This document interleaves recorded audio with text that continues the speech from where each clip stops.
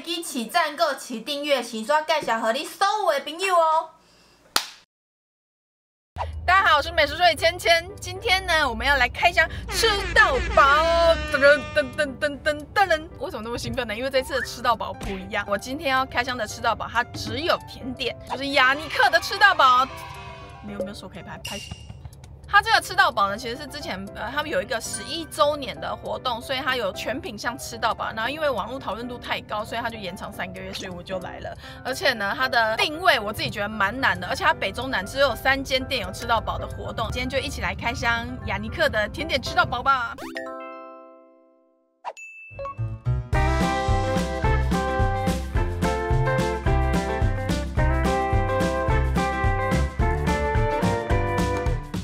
在进来了，然后他们的饮料其实还蛮多的。十一周年的时候是二九九吃到饱，然后现在是三九九吃到饱，然后你可以再点一杯百元以内的饮料。它用餐时间是九十分钟，然后点餐的话是六十分钟。那我们就先来点吧，就是这里有品相，然后就画在后面，然后再交去给柜台说啊我要这些。OK，我觉得我们第一轮先来一个生乳卷的全品相好了。我本来以为吃到饱会比较薄，就超级厚。好了，原味的长这样子。嗯，本人呢蛮喜欢雅尼克生乳卷那种很纯粹奶奶的味道，那它奶油呢不会太油腻，也不会粘舌头。蛋糕体好像有比之前稍微干一点点，但我觉得生乳卷它里面那个奶油，我自己觉得还是蛮好吃的。下一个吃特黑生乳卷，哎，这个很像梗图哎，你有觉得吗？No 什么之类的。嗯，我觉得比原味好吃，怎么会这样？因为我刚吃原味的，我觉得面包稍微有一点点干，我不确定是不是因为放冷藏柜有关系还是怎么样。可是这个没有哎，它这个蛋糕体本身还蛮湿润的，而且它的那个巧克力是有点带苦甜的，还蛮爽脆的。好，下一个是茶拿铁布丁，哇，这个好像那一种以前传统的甜点，然后里面会有布丁的，哎，找不到。好熟悉的味道，有一点阿萨姆奶茶的感觉。然后布丁就是传统蛋糕里面会出现的布丁的味道，我觉得这个长辈会喜欢。这个是鲜芋奶霜生乳卷，跟我之前跟全家联名出的芋头的味道很像。它这个没有加白凤豆沙，大家如果你怀念我的跟全家的联名，你可以吃它。下一个这个是嫩布丁生乳卷，它这个感觉就是原味生乳卷，然后加那个古早味布丁。会一直看我在瞎忙，找不到那个开的地方。就是原味的生乳卷，加上古早味布丁的感觉，我觉得正常。下一个是芒果生乳卷，这是期间限定的，它是带有一点点酸味的那种甜的芒果。然后我它有一个很加分的地方是芒果跟奶油混在一起，有一些可能会出水，然后就会那种水水滑滑的。可是它这个是融合的刚刚好，嗯。再来这个是薄荷巧克力生乳卷，这个叫什么你知道吗？这一定要 Shiny 的应援色好不好？我跟你讲，什么都要提到这个一下。Super Junior 跟 Shiny，我们的长长青团都不能忘记。也就是你说的那个小时候那个巧克力薄片那个一模一样的味道。然后我有点意外是，其实很多那种薄荷的冰淇淋啊，就会会让你有种牙膏感。可是我觉得它意外的还好哎。让我想到之前去开箱伦敦 bagel 的那种感觉，各个各种圆形的混在一起的感觉。下一个这个是虎皮花卷，它有点像鸡蛋糕的那种感觉，蛋香味其实还蛮浓的。对我来说有点太甜了，完了，我觉得会有人在下面留言说甜点就是要甜，不然你想怎样？生乳卷类啊，我个人喜欢特黑生乳卷、鲜芋奶霜生乳卷跟芒果生乳卷这三个。接下来我们来我们的第二轮。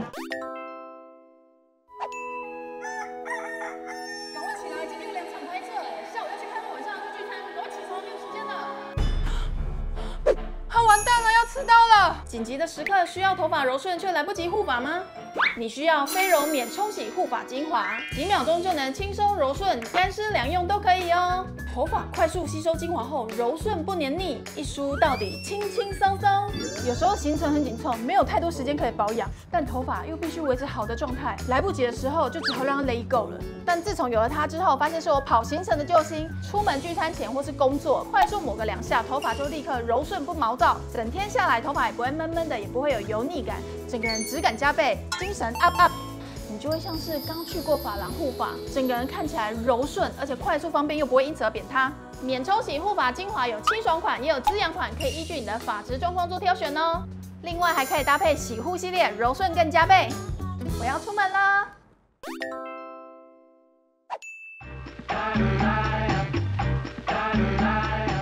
很像我平常去面包店，然后看到什么都想要，然后就夹了一盘这样子。我们首先呢是来吃我们的经典波士顿派，我看波士顿的那个孔洞比较大一点。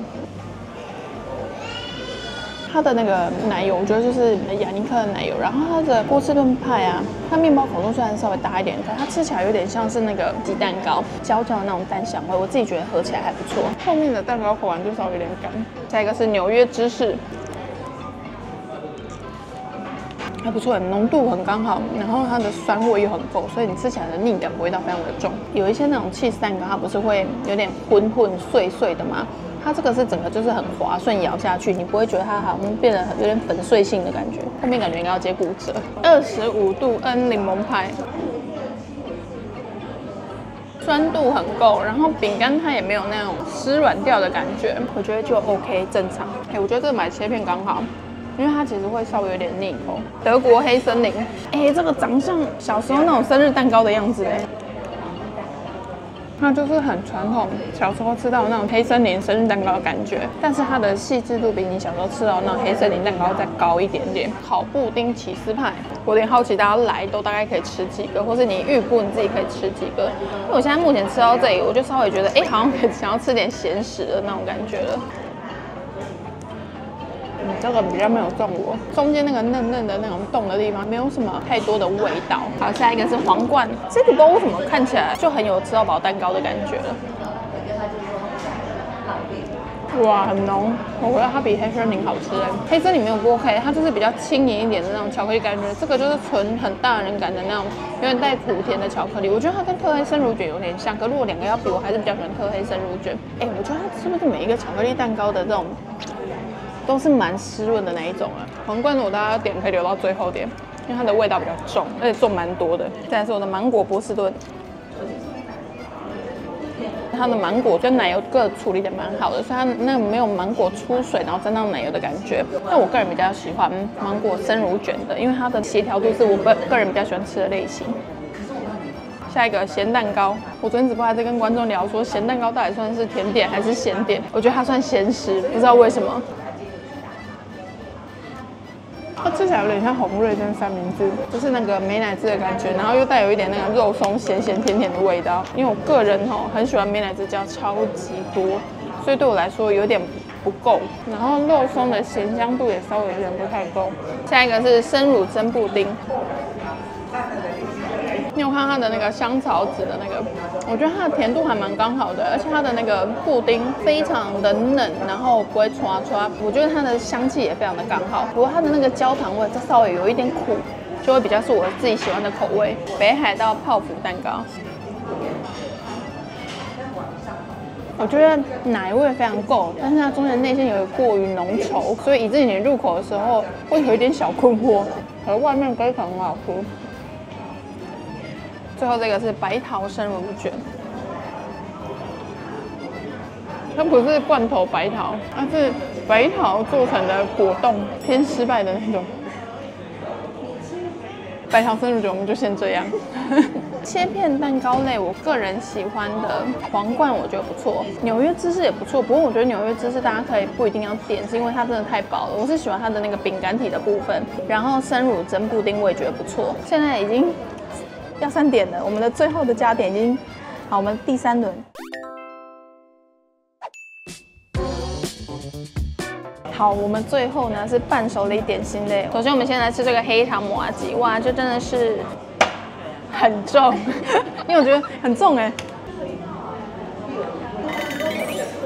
怎么吃起来这么像昂古贵？它的黑糖其实吃起来味道还蛮香的，然后它麻吉，它就是我喜欢那种咬了就断的麻吉，然后内馅呢是花生口味的。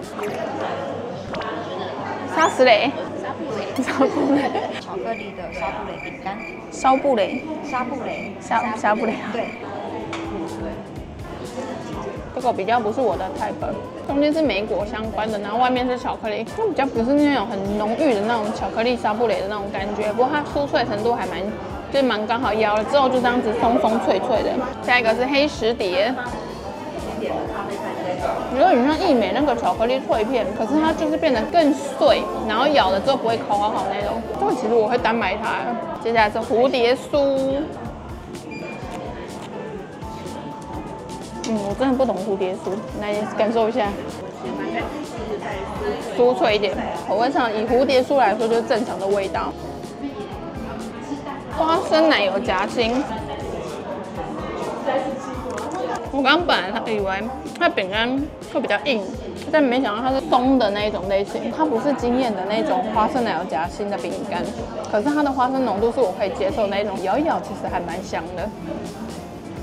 嗯，我觉得这时间非常的刚好，甜点九十分钟，然后你点餐是六十分钟，我刚好全品量吃完之后，我觉得那个腻感就差不多就这样刚好可以点到第四轮跟最后加点的人真的很厉害耶！我觉得伴手礼点心类，如果你要点，然后你只是想要坐下来好好的聊天闲聊的话，又怕吃太饱，你可以点黑石碟，因为你就吃一小块就可以聊蛮久的。然后花生奶油夹心，我觉得味道也还 OK。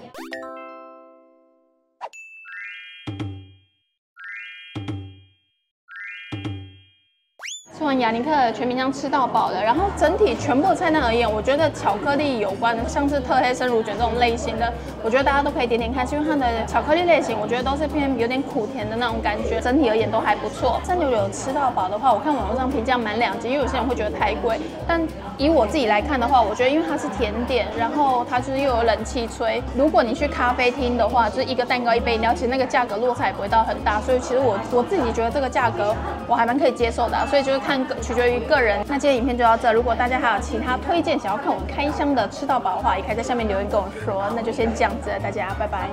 大家有觉得我今天的发型蛮可爱的吗？就是我今天出门很认真的拿着电棒在那边卷，我觉得我今天长得蛮 Q 的。